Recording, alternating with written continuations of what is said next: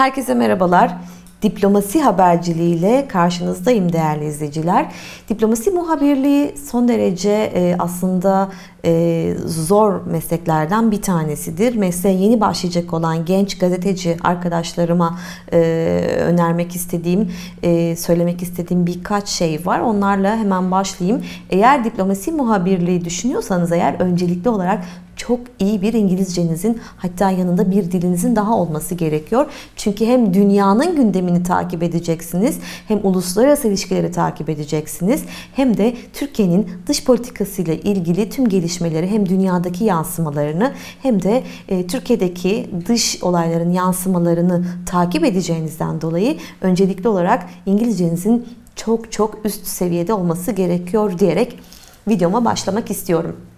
Değerli izleyiciler, diplomasi ve dış haberler yani diplomasi haberciliği, diplomasi muhabirleri e, genellikle hem dış politikayı takip ederler e, hem de Türkiye'nin dış politikasını takip ederler ve uluslararası ilişkiler bazında da e, dünyaların birbirleri, ülkelerin birbirleriyle olan diyaloglarını takip ederler. Peki haber kaynakları nelerdir? Elbette ki iç politikadaki haber kaynakları hem elçilikler hem Dışişleri Bakanlığı yani hem benzer kuruluşlar, örgütler hem de dünyadaki ajanslar, e, çeşitli basın ajansları, e, basın kaynakları, e, çeşitli elçilikler, büyük elçilikler ve diğer ülkelerdeki Dışişleri Bakanlıklarının hem basın kaynakları, basın ofisleri hem de bazı zamanlarda da oradaki bürokratlar da olabilir. Dolayısıyla iyi ilişkiler içerisinde olması gerekiyor diplomasi muhabirlerinin. Hem Türkiye içerisinde hem de dünyanın diğer ülkelerindeki e, kişilerle de diyaloğunun olması gerekiyor. Bazen e, çeviri haberler e, yapmak durumunda kalıyor olabilir diplomasi haber habercileri.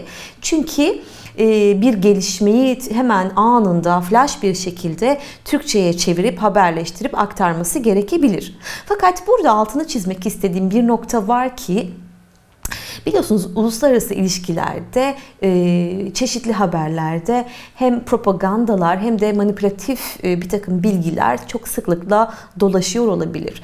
Dolayısıyla meseleye böyle yaklaşmak gerekiyor. Çevireceğiniz bir haberi sadece Türkçe'ye çevirip haberleştirip anında kamuoyuyla paylaşmadan önce kendi süzgeçinizden geçirerek içerisinde propaganda malzemesi var mı ya da manipülatif bilgiler var mı bunları bir kontrol etmenizde fayda var. Hemen akabinde haberi e, Türkçe'ye çevirirken e, dikkat edeceğiniz bazı şeyler var ki her ülkede olduğu gibi Türkiye'nin de ülkemizin de kırmızı çizgileri var. Nedir bunlar? Örneğin e, Ermeni meselesiyle ilgili bir konu. Eğer bir çeviri haber yapacaksanız e, haberinizde mutlaka size Ermeni e, meselesiyle ilgili manipülatif ya da provokatif bir bilgi veriyor olabilirler. Oysa biz bunu ne söyleyeceğiz? 1915 yılı e, olaylarıyla ilgili ya da sözde Ermeni soykırımı gibi ifadelerle bunu e, Türkiye'nin kırmızı çizgileri olmasından ötürü böyle ifade etmemiz gerekiyor. Yine benzer şekilde terör olaylarıyla ilgili de kırmızı çizgilerimiz olması sebebiyle PKK terör örgütüyle ilgili yapacağınız bir haber ya da yurt dışında e, bir ajanstan geçmiş bir haberin e, içerdiği bilgileri sadece Türkçe'ye çevrilip verilmesi değil e, buradaki mesele. Yine bu terör örgütünün propagandasına fırsat vermeyecek şekilde haberinizi yeniden dizayn etmeniz gerekiyor. Tüm ülkelerde olduğu gibi Türkiye'de de bu kırmızı çizgiler var ve bunlara dikkat etmeniz gerekiyor. Diplomasi haber haberciliğinde son derece önemli bir noktadır. Bunun hemen altını çizmek istiyorum.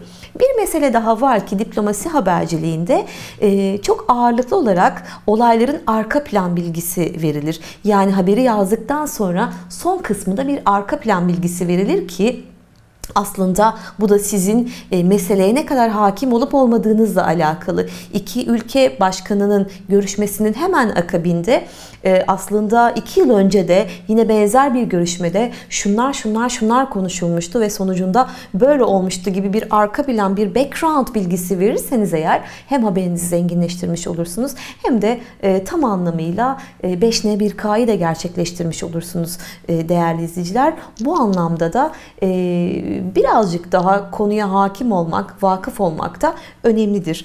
Peki e, çeviri haberlerinden bahsederken eğer bahsederken şunu da altını çizmek istiyorum. Komple bir çeviri kokmaması gerekiyor haberinizin. Yani aslında kendi süzgeçinizden geçirerek e, kendi cümlelerinizle yeniden harmanlamanız gerekiyor. Komple bir çeviri e, kokarsa o haber e, kıymeti ve değeri de çok da fazla kalmayacaktır. Son olarak şunu söyleyerek bitirmek istiyorum değerli genç meslektaşlarım.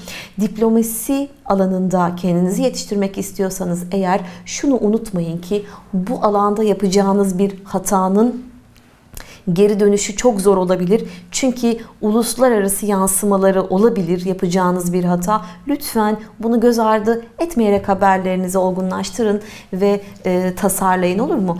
Ee, inşallah faydalı olabilmişimdir bilgilerimle. Ee, bir başka videoda tekrar görüşünceye kadar diyorum. Hoşçakalın.